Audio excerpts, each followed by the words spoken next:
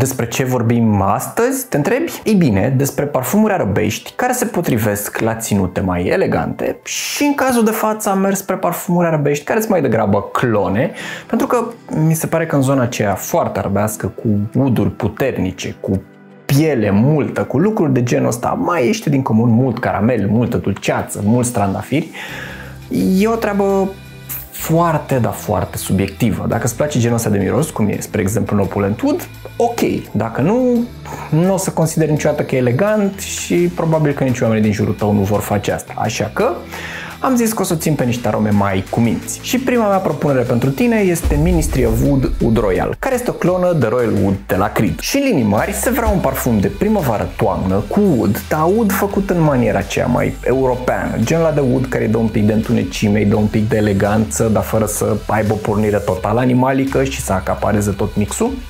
Așa se întâmplă aici. Și pe lângă asta mai are niște piper, mai are niște citrice și eu aș șura pe roșu că ar putea să aibă și un pic de scorțișoară, dar poate doar asta îmi spune nasul meu fără să fie chiar ce trebuie. În cele din urmă, mi se pare că acesta este un exemplu foarte bun de parfum elegant, potrivit în zilele mai călduroase. Pentru că în timp ce îl miros, aproape pot să văd o cămașă albă, o vestă, un sacou și genul ăla de atitudine, aproape britanic. Și ok, înainte să devii exagerat de încântat, trebuie să știi că la fel ca orice clonă, nu e una perfectă, nu e o clonă 1 la 1. E un parfum care seamănă, dar are totuși o deschidere puțin mai sintetică, pe care totuși nu o găsesc supărătoare. Ba mai mult, dacă mă uit și la comparația de preț, mi se pare justificată. Una peste alta, parfumul ăsta e, după cum îți spuneam, elegant, ceea ce înseamnă că are persistență undeva pe la 5-6 ore pe pielea mea, dar proiecția e destul de apropiată de purtător. Deci nu e un parfum gălăgios și, deși e făcut acolo, nu are caracteristici foarte arăbești, în sensul de persistență nebună. Dacă pe de altă parte te simți ceva mai aventuros, ți-l recomand pe Latafa Kaeb Shabab, în care vei găsi lucruri precum piele, ud, cedru, dar și un pic de ambră. Parfumul ăsta evoluează interesant și mi se pare că într-o oarecare măsură pe partea de piele și cea de ud în special de fapt, se abține puțin.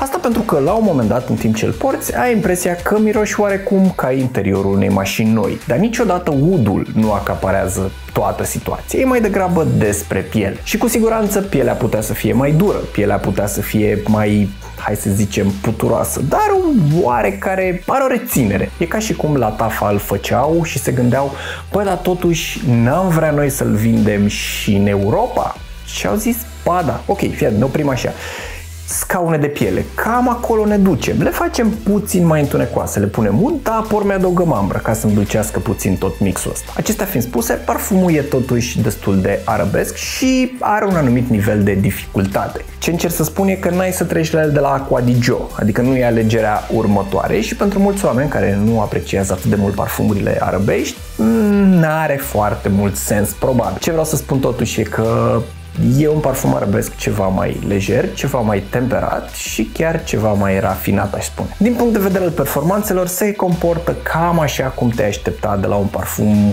care mizează mult pe o notă de piele, adică un 7 ore, poate chiar mai mult eu obțin pe pielea mea și trebuie să știi că mirosul ăsta de mașină nouă cu scaune noi din piele se temperează și chiar se îndulcește un pic pe parcursul purtării. Ceva mult mai convențional, dar tot de la Latafa, vei găsi și în forma lui Latafa Assad, care este o clonă de Dior Sauvage Elixir. Am încercat câteva și până în punctul ăsta mi se pare că Assad se apropie cel mai mult, fără să fie o clonă perfect. E puțin mai abraziv în deschidere, parcă e ceva mai condimentat. Și e ciudat că spun asta în contextul în care Elixir era foarte condimentat. Faptul că bucata asta de plastic se scoate de pe el nu mă încântă deosebit, deci ambalajul nu mi se pare cea mai reușită treabă. Dar în rest, ca o clonă de Sauvage Elixir care costă de multe ori mai puțin, cam de aproape 8-10 ori, mi se pare că are foarte mult sens. Are condimente, are nucșoară și chiar și delicatețea lui e aproape acolo.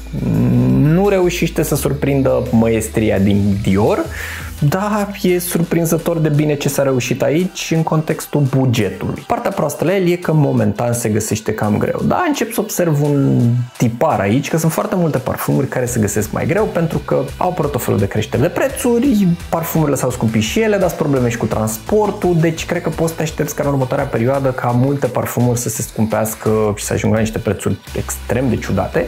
Și de asemenea poți să te aștepți ca unele parfumuri să dispară destul de mult din stoc. Asta nu înseamnă că nu se mai produc, în mod sigur vom avea acces din nou la ele, dar perioada asta e destul de incertă chiar și pentru parfumuri. Din punct de vedere al performanțelor, Assad se descurcă onorabil. 6-7 ore pe pielea mea cu o proiecție bună în prima oră, chiar o oră și jumătate. Dacă îți dorești un parfum pe care să-l porți la o ținută mai elegantă vara, ai putea să-l încerci pe Armaf Blue Om, care e undeva la jumătate distanței dintre Aqua di Gio și Aqua di Gio Profumo. Nu e la fel de elegant ca cel din urmă, dar e un pic mai întunecos și vreau să zic mai complex, deși nu este cuvântul, mai complicat decât Aqua di Gio.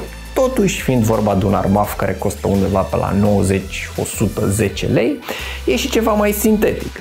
Dar, tocmai pentru că merge în zona asta mai sintetică, s-a produs niște vrăjitorii aici și pe pielea mea parfumul ăsta e mai persistent decât original Aqua di Gio, ba chiar e mai persistent decât Perry Ellis, fără să accentueze o notă de scorțișoară, cum se întâmplă în acela, sau condimente, nu doar scorțișoară. Ideea e că pentru prețul său, parfumul e neașteptat de bun. E clar că sticla asta nu e premium, capacul se potrivește este greu, pe ăsta îl poți scoate și toate lucrurile astea în mod real nu contează. Contează mirosul ăsta.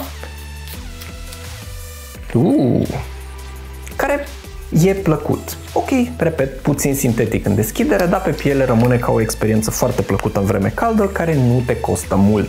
Și da, are sens să-l porți la un costum pentru că, din nou, are ceva din eleganța aceea ușor întunecoasă. Din punct de vedere al performanțelor, știu că am zis că persistă mai mult decât Aqua di Gio, dar nu te aștepta la minuni. Deci pe pielea mea stă undeva în jurul la 5 ore, cu o proiecție bună în prima oră, o oră și un pic. Dacă, în schimb, te-ai săturat de parfumuri acvatice, citrice în vreme caldă, s-ar putea ca răspunsul, tot arabesc, să vină de la Killer Wood Sunrise, care este o clonă de Amouage Sunshine Man, parfum care s-ar putea să fie cel mai neașteptat parfum bărbătesc pentru vremea caldă. Pentru că atunci când îl porți, miroși total neașteptat a portocală cu brandy. Mai ai parte și ușor de lavandă, de asemenea de tonca, vanilie și cedru. Așa că nu l-aș descrie ca pe un parfum chiar răcoritor, dar nici nu aș putea spune că e dulce. E ce te-ai aștepta de la o clonă de amoaj. Un parfum neobișnuit, dar care pare să iasă în evidență. Nici până în punctul ăsta și îl folosesc de câteva săptămâni, nu m-am hotărât dacă îmi place foarte mult, dacă îmi displace, nu știu exact unde să-l port cât să aibă foarte mult sens, dar sunt constant surprins de mirosul său. Nu e nimic banal în ce se întâmplă aici. Este un parfum pe care trebuie să-l accepti ca fiind altfel. Și un alt lucru altfel în legătură cu parfumul ăsta e că, deși e un parfum de vreme caldă, e persistent, că în definitiv vanilie, tonka, brandy. Deci e genul de parfum care te însoțește 6-7 ore în vreme caldă, fiind relativ, hai să zicem, gălăgios, deși nu este cuvântul, nu umple camere, dar se simte oarecum în jurul tău în prima oră, o oră și jumătate. Pentru vremea rece, un mix neașteptat de bun este Marhaba Amberwood, care își găsește inspirația în Killian Amberwood. Și partea interesantă la parfumul ăsta și cred că e unul dintre cele mai importante lucruri, este că el clonează un parfum care se găsește foarte greu. Killian Amberwood chiar e greu de găsit în perioada asta și așa cum îți spuneam și într-un video anterior cu un parfum de la Armaf, uh, sunt foarte încântat de clonele făcute la parfumuri care au fost discontinuate, pentru că sunt o mulțime de mirosuri care ne plac și pe care nu le mai putem găsi. Așa că dacă s-ar găsi Armaf sau oricine să cloneze un Bulgaria Aqua Amara, n-ar fi rău deloc. Revenind la Amberwood, denumirea ar trebui să-ți spună cam tot ce se întâmplă în parfumul ăsta. E ambră și e și un pic de ud, dar udul e aproape insesizabil. E un parfum dulceag în care udul nu vine ca prezență de miros, ci cât să rotunjească tot mixul ăsta. Pe lângă ele vei mai găsi poate și niște note citrice, vei mai găsi și o notă de smochine, există și un trandafir aici. Cu toate astea nu sunt atât de bine accentuate, lăsând locul ambrei ca notă principală. Parfumul ăsta în cea mai mare măsură este despre asta și în zilele răcoroase mi se pare că funcționează foarte bine. E un parfum dulceac, dar nu excesiv de dulce, ușor cremos e cuvântul pe care vreau să-l spun. Mi greu să-ți explic fix caracterul ăsta, l-am mai întâlnit și în uh, Date for Men al lui Jeremy, doar că a făcut ceva mai diferit. Aici are totuși o pornire ușor arabească, pentru că parfumul făcea parte din colecția Arabian Nights, dar e vorba de genul de parfum arabesc fix cum l-ar face Kilian. Deci dacă te gândești chiar interesant, știi, Kilian face un parfum cu influențe arabești, care apoi este clonat în țările înțelegi ideea, e destul de amuzant. Oricum, parfumul ăsta pentru vremea rece și pentru prețul său mi se pare că trebuie încercat. Ți-am mai păstrat unul de vreme caldă și este vorba despre Al Haramain L'Aventure Night, care, spre diferență de fratele său L'Aventure, care îl clona pe Creed Aventus, îl clonează pe Creed Green Irish Tweed. Deci se vrea mai serios, mai elegant și o idee mai întunecos. E un miros citric cu ceva frunze de violetă care are o surprinzător de mare eleganță pentru un parfum care totuși e fresh. Mi se pare că are și o oarecare notă de nostalgie, dar nu e atât de puternică încât să zici că a, parfumul ăsta mă duce cu gândul la anii 90, când poate nici nu eram născut. Îți spun asta ca să știi că trebuie să te pregătești pentru un parfum ceva mai diferit. Este cea mai bună clonă de Green Irish Tweed, din câte am încercat eu, da. Totuși, parcă e ceva mai aerisit și mai lejer. Parcă lipsește ceva, un element care îi dădea sufletul lui Green Irish Tweed, dar e destul de aproape. De asemenea, din punct de vedere al performanțelor, nu stă rău. Are un 5-6 ore, de persistență, cu o proiecție bună în prima oră, poate un pic peste o oră. Și închei lista asta cu Pandora Sense Heros și dacă tu ești cu atenție la sticlă, cred că îți dai seama că e o clonă de parfum de Marley Herod. Deci vei găsi în el tutun, vanilie, un miros ușor alcoolic și ceva note fructate. În cele din urmă, pentru vremea rece, parfumul ăsta e extrem de plăcut. Și din ce am mai încercat eu până acum, e una din puținele clone de Herod la un preț extrem de mic. Încă aștept cu interes să se mai răcească vremea ca să pot să-l port cum se cuvine, să-ți dau un verdict clar despre persistență. Ideea e că în vreme caldă are un 5-6 ore cu o proiecție bună în prima oră, dar pe măsură ce se mai răcește, mi se pare că deja mai câștigă puțin timp de persistență.